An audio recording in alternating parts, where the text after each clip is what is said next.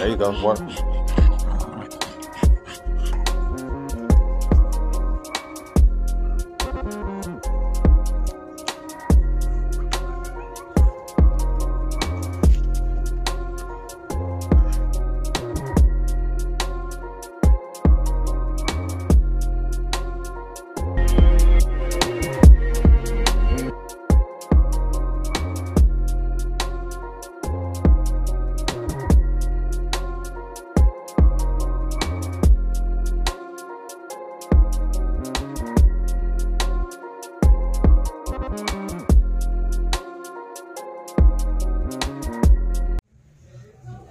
What it do, YouTube? We always talk about manhood. You know what I'm saying? Being a master or a jack of all trades. Today, working on my AC unit. So I tracked down my issue. So my outdoor uh, blower fan, my outdoor fan motor was blowing, and uh, my compressor wasn't coming on. So change out our capacitor. Got that going. Compressors running everything. Just change out this uh, indoor fan motor last summer. Mind you, it's a two-year-old unit, but you know parts do fault, and uh, you know you just got to go and handle it. You know what I'm saying? So I changed out the indoor fan motor last season. Well, now it's not calling, so changing out this 10 microfarad capacitor. Boom. And let's see if we can get her rolling.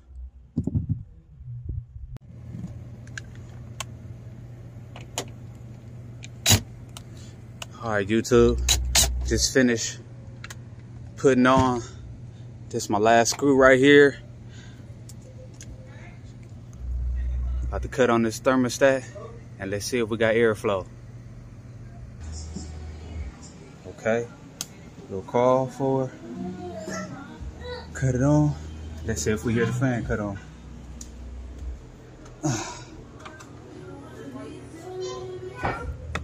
Uh, all right, let's see.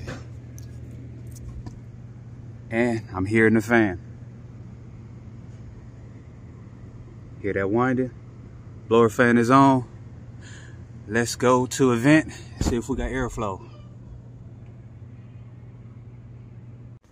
All right, YouTube, about to check, see if the fan is working. Old school style, got a piece of paper. There we go. We got airflow. You see, bringing it down, paper standing straight up, bringing it up. We in the game. Quick little tips. If you ever having issues, your AC ain't coming on, get your meter. Make sure you got power. Yeah, first thing you want to do is check, make sure your thermostat is running.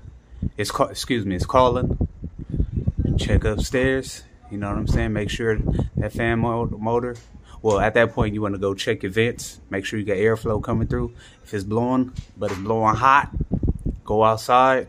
But make sure that fan and that compressor is on. That fan is not on.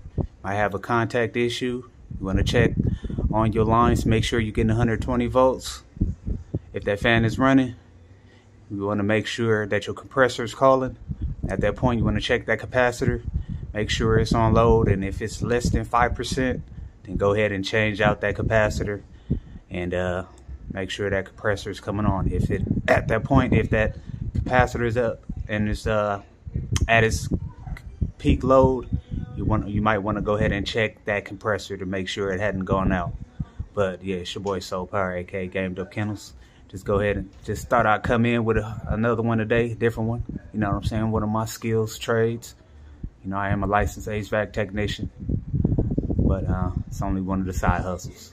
Hey, y'all stay tuned. Shogun Army stand up. Uh, a whole bunch more videos like this. Peace.